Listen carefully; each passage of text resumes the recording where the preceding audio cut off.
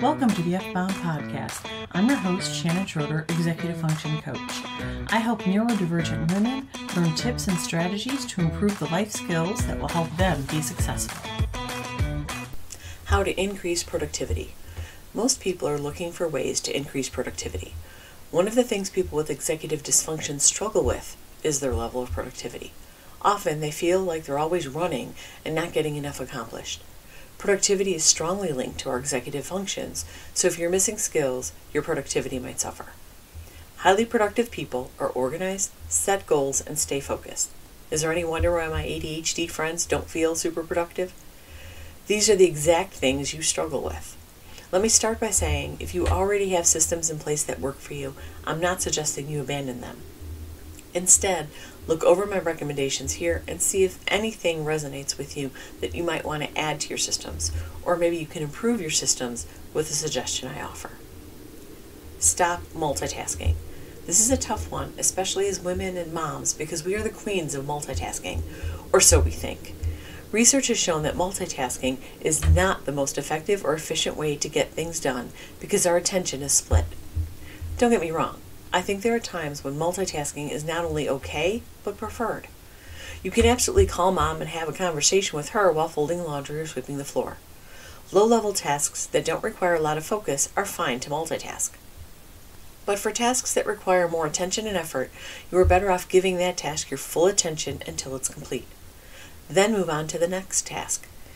You can increase productivity because you will complete tasks instead of just having a bunch of them started or in various stages of completion. Focus might not be your friend, and that's okay. You just need to learn to work within your focus ability. Time blocking is a great method for this. You might have heard of the Pomodoro method, which is basically what time blocking is. You set a timer for 20 minutes and work, totally focused, until the timer goes off. Then you take a 5 minute break. Then start again with another 20 minute chunk. The 20 minutes is arbitrary. If you can only focus for 10 or 15 minutes at a time, then use that as your time block.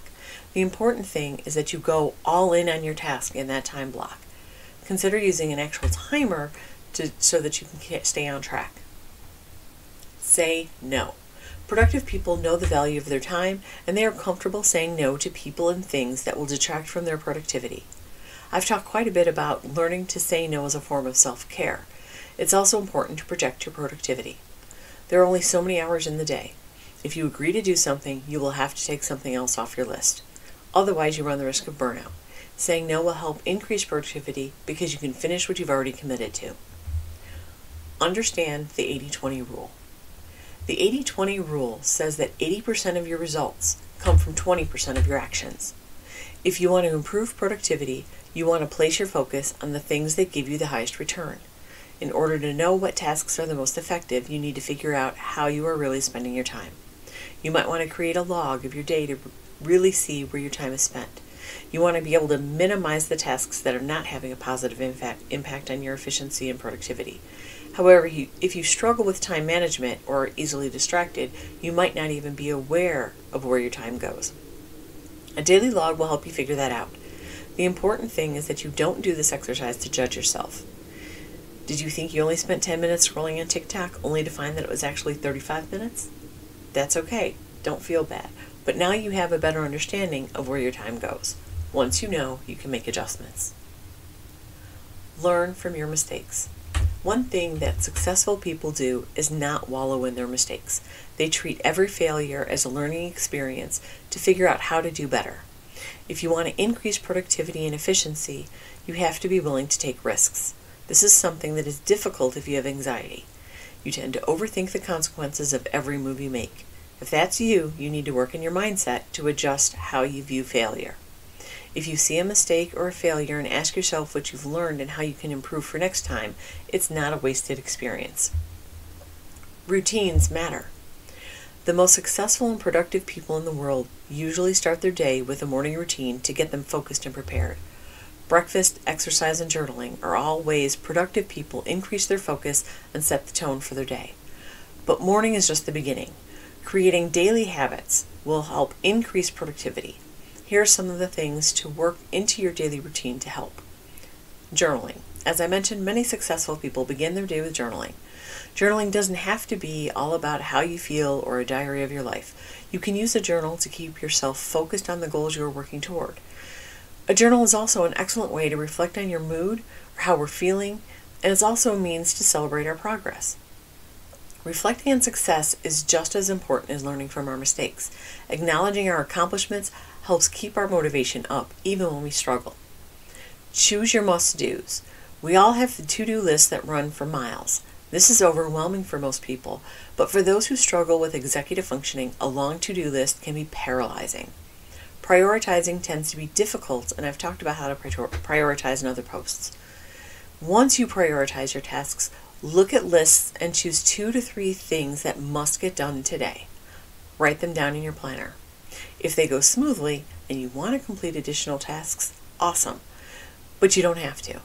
Making sure you complete your must do's for the day is your focus. You will know exactly what you're facing for the day and there won't be surprises, at least not ones that are within your control. Schedule breaks. This might seem counterintuitive in a post about how to increase productivity, but we need breaks. Constantly pushing yourself isn't healthy and will lead to burnout, which ultimately ruins all of your productivity. Take breaks when you need them. This is another reason that time blocking works well for so many people. If you are easily distracted or fidgety, knowing that you only have to focus for X number of minutes makes it doable. Then you get a break. Knowing that you aren't trapped in a giant block of work with no sign of it ending makes it easier to tackle. You know you only have to get through 15 minutes. Yes, the task isn't complete in 15 minutes, but then you get to stop thinking about it during your break. Once you're refreshed, you're ready to dive in for the next 15 minutes. Reflection. I mentioned journaling as a task to include in your morning routine, but if writing isn't your thing, it might be too much of an ask. Even if you don't journal, though, you should take time to reflect on your day. Taking time to process unresolved feelings or conflicts is beneficial so they don't crop up later when you're trying to do other things, like focus on family or go to sleep for the night. Reflection can help alleviate any lingering stress from the workday and help you celebrate your accomplishments for the day. Acknowledging what went well for the day can increase your motivation for tomorrow. It can also help keep help you keep a positive mindset as you make changes in your life. Final thoughts. Being productive looks a little different for each person. You need to find or develop the systems that work best for you. Think about how you thrive and how you struggle, and that will help you figure out the best ways to develop your daily habits to increase productivity. I hope you enjoyed this episode of the EF Bomb podcast. Thank you for listening. Remember to su- subscribe below and check out my show notes to learn more about my Facebook group, courses, and membership.